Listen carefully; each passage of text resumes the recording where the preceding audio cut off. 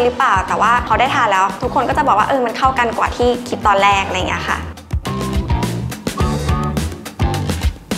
ต้าหู้อพอลโลนะคะ เป็นร้านขนมหวานแล้วก็อาหารสไตล์จีนค่ะ ถ้ามาที่ร้านเนี่ยก็จะมีก๋วยเตี๋ยวสไตล์จีนหลากหลายแบบให้ลองเลือกทานเลยรวมถึงจะมีขนมหวานเต้าหวยบัวลอยเต้าถึงน้ำเต้าหู้นมสดด้วยค่ะ เต้าหู้อพอลโลชื่อนี้ได้มาจากอาม่าค่ะ เพราะว่า อาม่าเคยเปิดร้านเต้าหู้น้ำขิงมาก่อนเป็นร้านรถเข็นเล็กๆอะค่ะ ช่วงนั้นเนี่ยที่เขาเริ่มเปิดร้านเป็นปีที่อพอลโลขึ้นดวงจันทร์สำเร็จ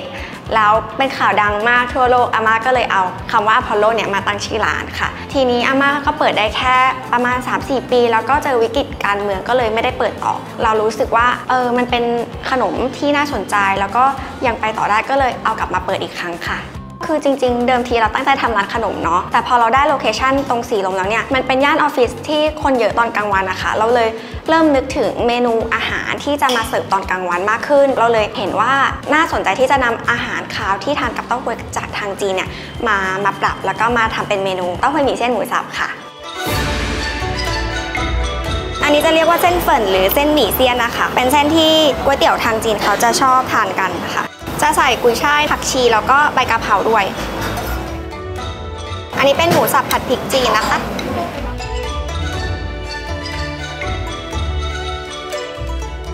จริงๆ ก่อนที่จะได้เปิดเนี่ยเค้กแบบว่าทดลองทำมา 1 ปีเลย ในการที่จะทำน้ำเต้าหู้เต้าหวยให้ได้แบบที่เรารู้สึกว่ามันอร่อย แล้วก็ลูกค้าน่าจะชอบอย่างเงี้ยค่ะ ก็ใช้เวลาประมาณ 1 ปีในการทดลองทำ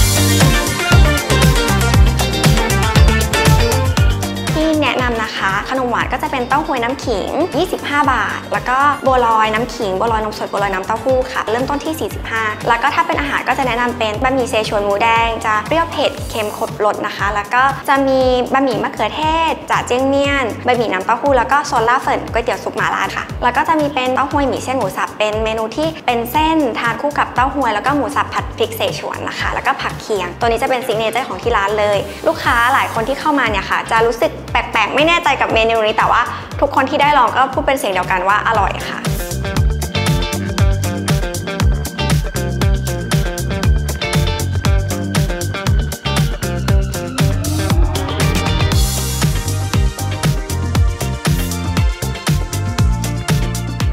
ไว้มาทานกันนะคะ